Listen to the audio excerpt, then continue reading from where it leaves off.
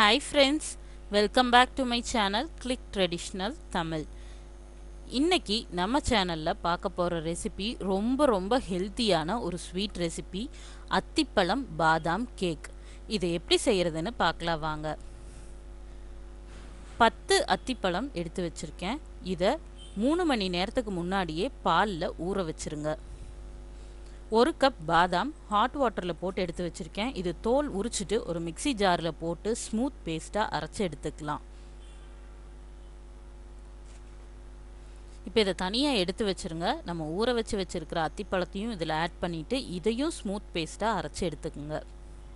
இது ரெண்டையும் தனித்தனியாக எடுத்து வச்சுருங்க.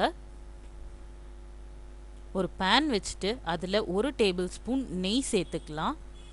நெய் சூடானதும் கொஞ்சமாக பாதாம் லைட்டாக அரைச்சி வச்சுருக்கேன்.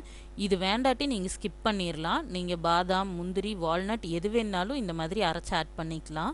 இது வந்து கடிக்கும்போது லைட்டாக க்ரன்ச்சினஸ் வரும். அதுக்காகத்தான் ஆட் பண்ணியிருக்கேன் இது ஃப்ரை ஆனதுக்கப்புறமா பாதாம் பேஸ்ட் இதில் ஆட் பண்ணிக்கலாம். இதை நல்லா மிக்ஸ் பண்ணி விட்டுட்டு ஹாஃப் கப் மில்க் ஆட் பண்ணிக்கலாம். ஆட் பண்ணி விட்டுட்டு இதை நல்லா கலந்துருங்க. கையெடுக்காமல் கிளறிட்டே இருக்கணும். இப்போ ரெண்டு டேபிள் ஸ்பூன் கார்ன்ஃப்ளவர் ஆட் பண்ணிக்கிறேன். இது வந்து உங்களால் லம்ஸ் இல்லாமல் கலந்துக்க முடியும் அப்படின்னா இப்படியே ஆட் பண்ணிக்கங்க. இல்லைனா பாலில் கலக்கி ஆட் பண்ணிக்கலாம்.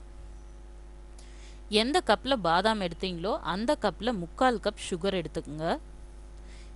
இதை நல்லா கிளறிட்டே இருங்க. இப்போ கொஞ்சமாக நெய் சேர்த்துட்டு இதை மிக்ஸ் பண்ணுறக்கு ஆரம்பிக்கலாம்.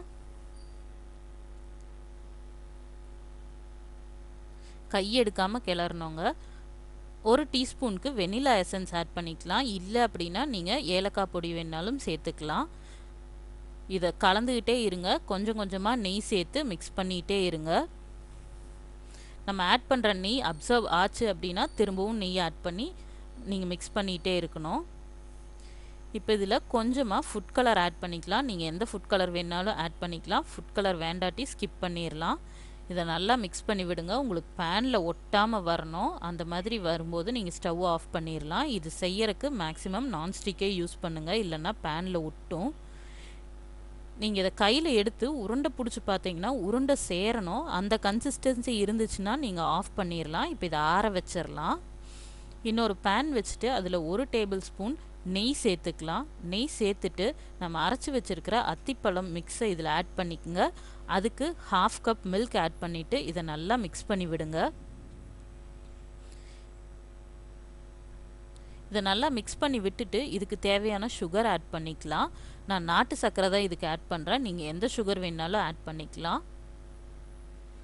மூணு டேபிள் ஸ்பூன் சுகர் ஆட் பண்ணியிருக்கேன். ஆட் பண்ணிவிட்டு இதை நல்லா மிக்ஸ் பண்ணி விட்டுருங்க. அந்த சுகர் மெல்ட் ஆகி அது அப்படியே வேகிறக்க ஆரம்பிக்கும். கையெடுக்காமல் கிளறிட்டே இருக்கணும். இதுக்கும் கொஞ்சம் கொஞ்சமாக நெய் ஆட் பண்ணி நீங்கள் கிளறிட்டே இருக்கணும்.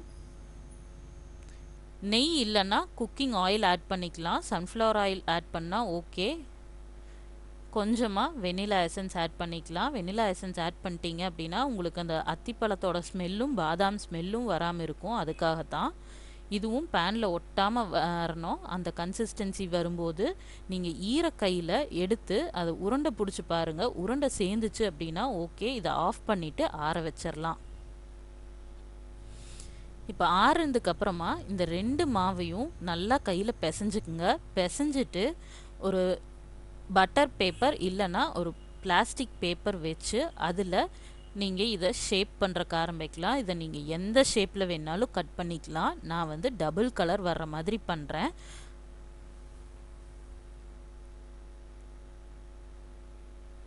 இந்த மாதிரி பண்ணிவிட்டு இதை தனியாக எடுத்து வச்சுருங்க. இப்போ அந்த அத்திப்பழத்தை எடுத்து இதில் வச்சிடலாம் இந்த பேப்பரில் வச்சுட்டு நீங்கள் சப்பாத்தி கட்டை வச்சு இதை ரோல் பண்ணுறக்கு ஆரம்பிக்கலாம்.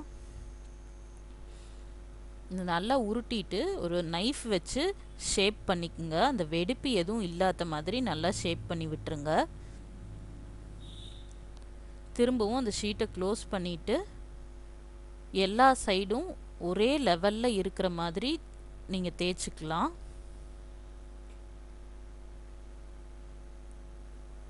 இப்போ அந்த பாதாம் மிக்ஸ் எடுத்து நடுவில் வச்சுட்டு ரெண்டு சைடும் க்ளோஸ் பண்ணிடுங்க இந்த ஷீட் எடுத்து இப்படியே அமுக்கி விட்டிங்கனாலே அது அப்படியே நின்றுக்கும்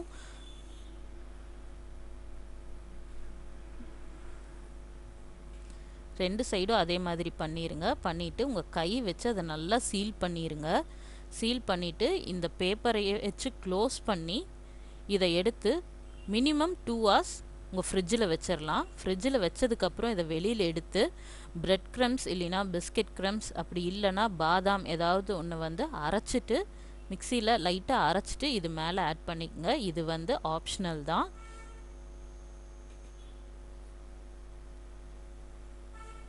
இது ஃபுல்லாக ஸ்ப்ரெட் பண்ணி விட்டுட்டு நம்ம பீஸ் போடுறக்கு ஆரம்பிக்கலாம்.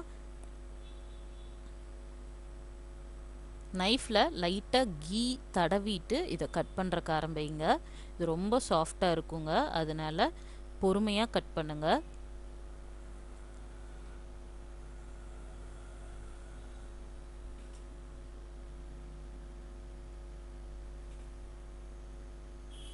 பாருங்கள் டபுள் கலரில் பார்க்கவே சூப்பராக இருக்குது.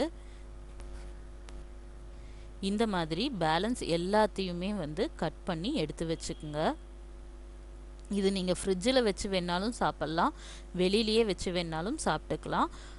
சூப்பரான அத்திப்பழம் பாதாம் கேக் ரெடி ஆகிருச்சு இந்த ரெசிப்பியை உங்கள் வீட்லேயும் ட்ரை பண்ணி பாருங்கள் ரெசிபி பிடிச்சிருந்துச்சுன்னா வீடியோவை லைக் பண்ணுங்கள் ஷேர் பண்ணுங்கள் கமெண்ட் பண்ணுங்கள் புதுசாக பார்க்குறவங்க சப்ஸ்கிரைப் பண்ண மறந்துடாதீங்க தேங்க்யூ